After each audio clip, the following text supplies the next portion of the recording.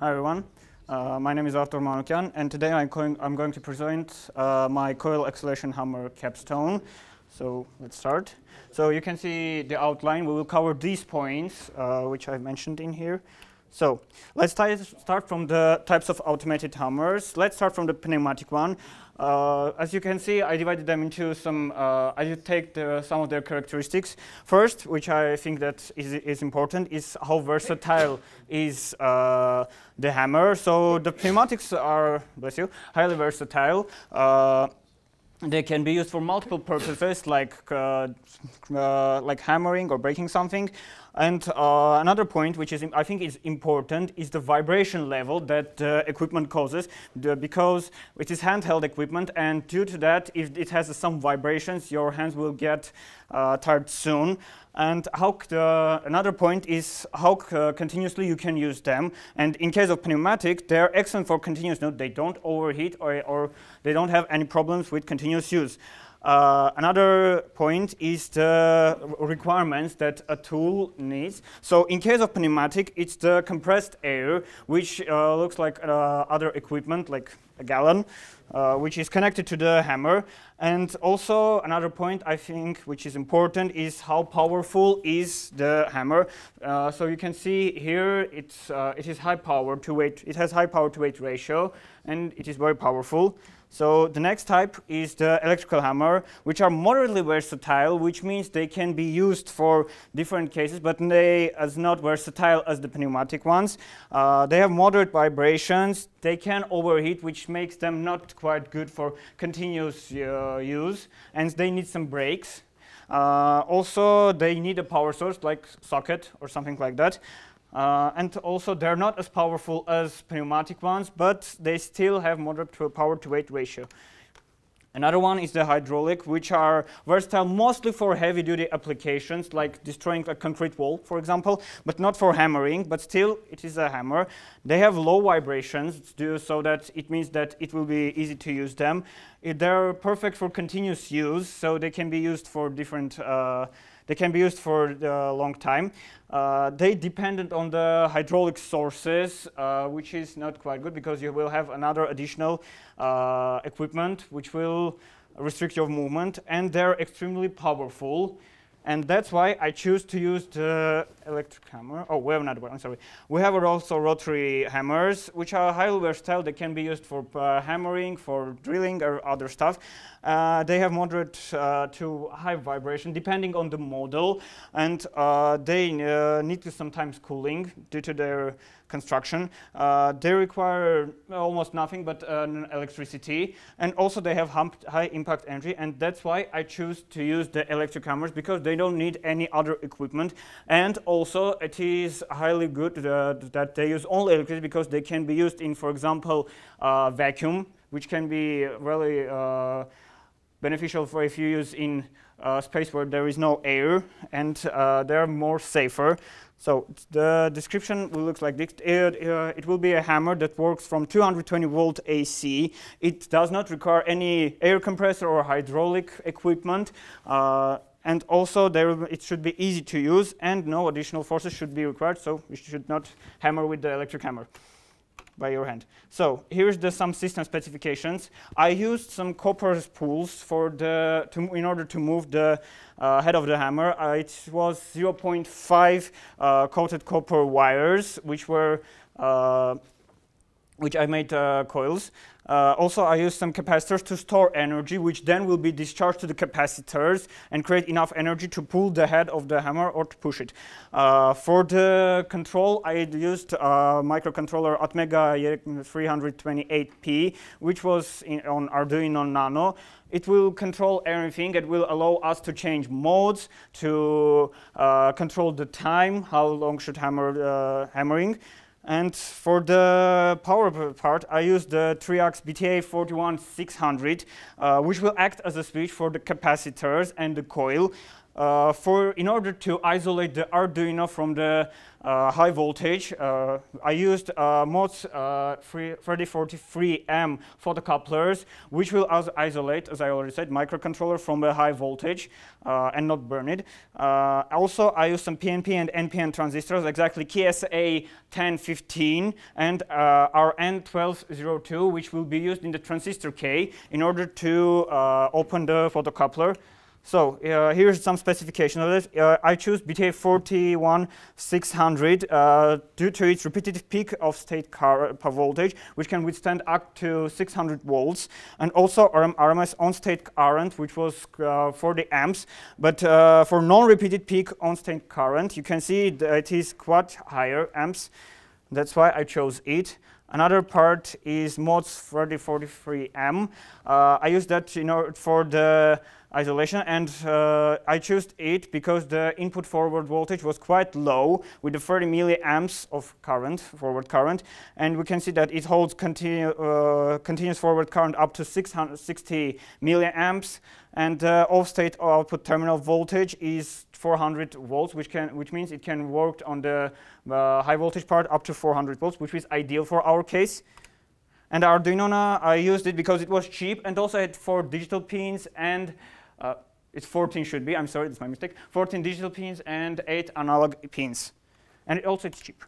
So, and also I used uh, some softwares, SolidWorks for 3D modeling, Arduino IDE for programming the Arduino CES EduPack for the material choice, which is quite important in our case, and EasyEDA for drawing schematics. Okay, so here is the schematic. We will go through the, all the parts separately. Let's start from the Arduino circuitry. As you can see, our system will have uh, two buttons. One will actuate the uh, hammer and one will uh, change the mode. And we have three LEDs for the indication, two for the mode and uh, one for if we're ready or not to hammer. Also, we have some uh, connections for, to voltage dividers, which I will go later, and also to the high voltage part. So here's the best part of the schematics. I don't know why it is cut. It should be not like that. Uh, so you can see that uh, I used mods uh, for the isolating the Arduino. The cap 2 and cap 1, coil 1, coil 2 are going straight to the, not straight, but uh, to the low voltage part, which where is Arduino and all other stuff. And as you can see, the mods is switching the BTA 41600 BRG. Uh, there is some resistors which are necessary for this uh, react to operate well.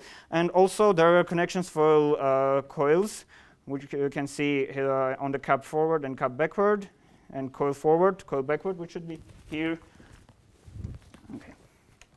and also here's the uh, coupler control unit. The Arduino itself was unable to turn on the MODS 3043 uh, for some reason. And that's why I used the transistor key, which is using NPN and PNP transistor. Here you can see BCR29S, which is equivalent to the uh, our transistor.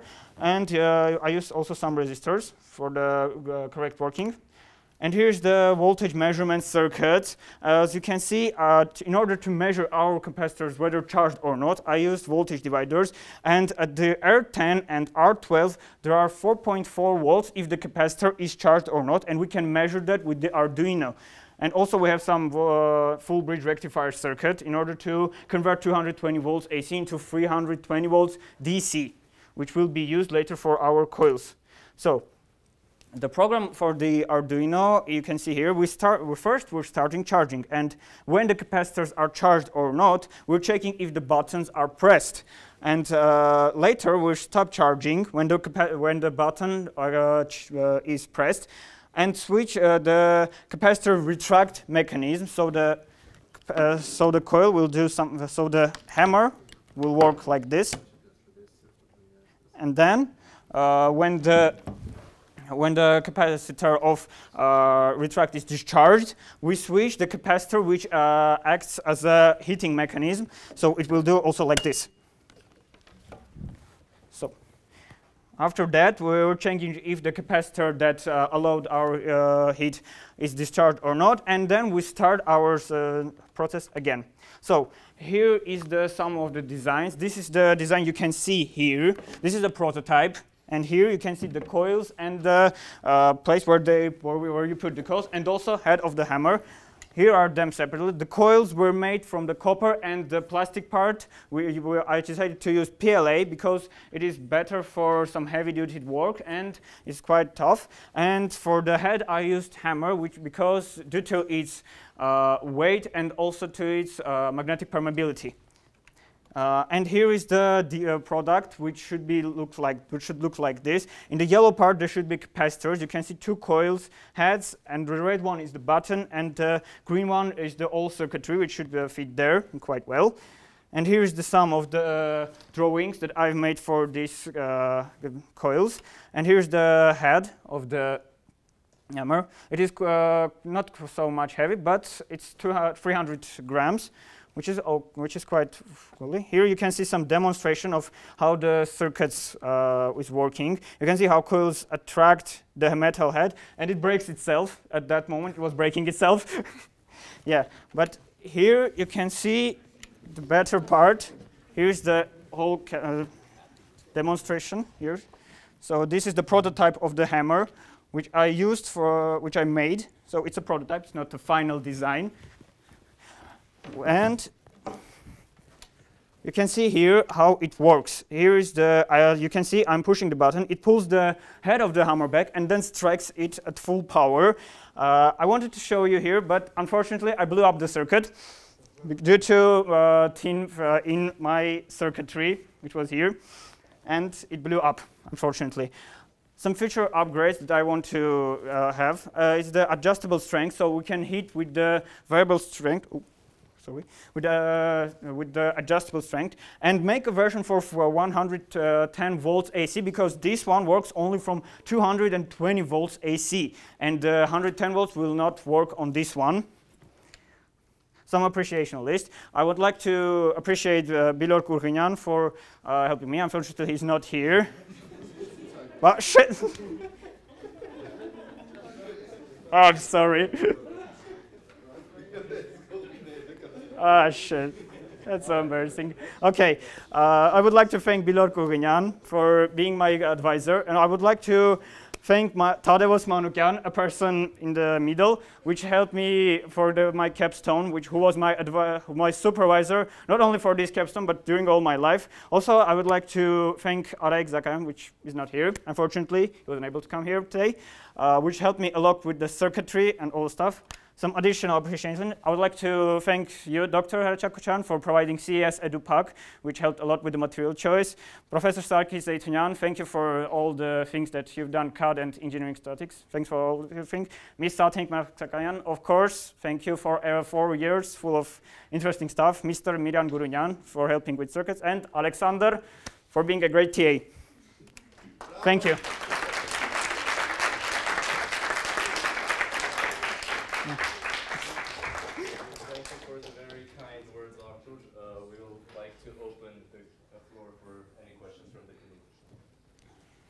Yes, uh, those four capacitors.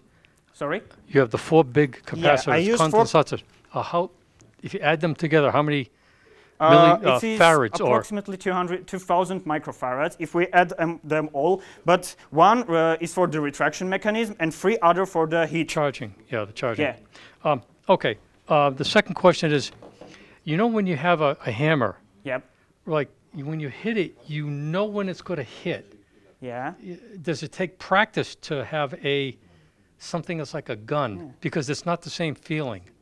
Yeah, it needs a practice, of course, but uh, if you're hammering like uh, 20 nails or something like that in a day or more, for example, it would be better to use something that automotive like, no, rather no, than I'm with not, hands. I'm not arguing. I'm just saying, ah. I'm just trying to think myself. If I have this, we all know what it feels like. Yeah, yeah. But when you go like this, it's. Uh, well, we can say some same about the drill also. Train. Okay, thank you. Thank you for question. Train. No, oh, train. Um, I have a question from your thesis. Okay. Uh, I actually read some of some of these uh, theses.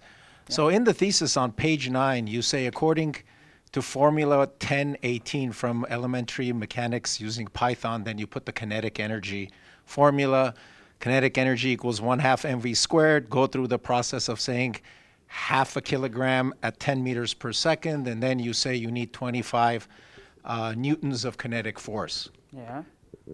Can you walk me through how you got from something that has a units of joules to a units of force? Because force is rate of change of momentum, and that's energy. So are you providing 25 one. Joules of energy, or are you providing 25 newtons of force? 25 newtons of force. So I guess I need you to walk me through it. Okay.